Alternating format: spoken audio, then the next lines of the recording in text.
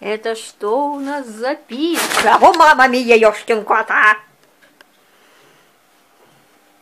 Короче, вот я пока тут скидывала, скидываю с камеры видео на комп. У меня тут лежит коробочка из-под пиццы. И в ней были такие звуки, точнее, в коридоре. Я решила глянуть. Оказывается, это кот забрался. Забрался в нее. Как давно я не снимала на этот фотик. Ну, я Бардакевич. Немножко, небольшой. Как давно я не снимала на этот фотик. Я хотела сначала фоткать на телефон, но это как-то... Пока найдешь этот телефон. Вот оно.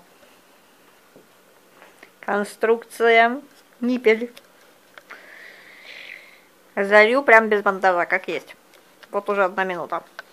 Киша, ты там нигде не вылез?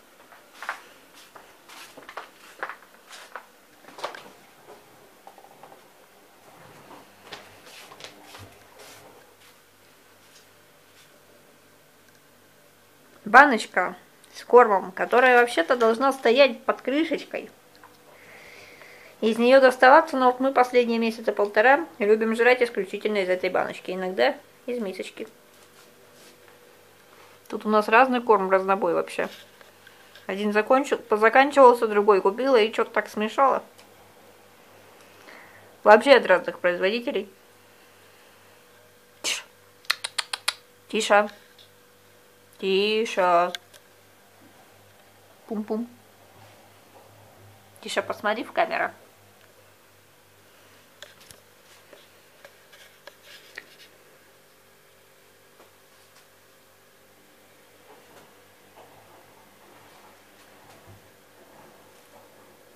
А, да, кстати, забыла же, съедобное, несъедобное. В общем, тут у меня было масло каждый день подсолнечное из Ашана. Наклейка, правда, отворилась. Но долго ждало, когда я обозрю его и что-нибудь еще, но так как что-то как-то никак все, то, наверное, этот ролик с котом будет в плейлисте съедобное, несъедобное. Очень хорошее масло, люди, подсолнечное. Вот бывает подсолнечное масло с каким-то привкусом странненьким. Бывает такое, что вообще как-то, ну, не то, не все. А бывает очень такое хорошее. Вот внезапно бюджетное, хорошее подсолнечное масло. Причем кайф уже не помню. Но что-то как-то вот, ну, дофига бюджетно. И теперь оно идет перерабатываемый мусор. В общем, вот такие пироги.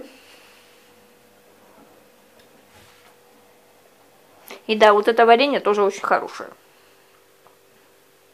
Тут в составе сахара и малина, больше ни черта.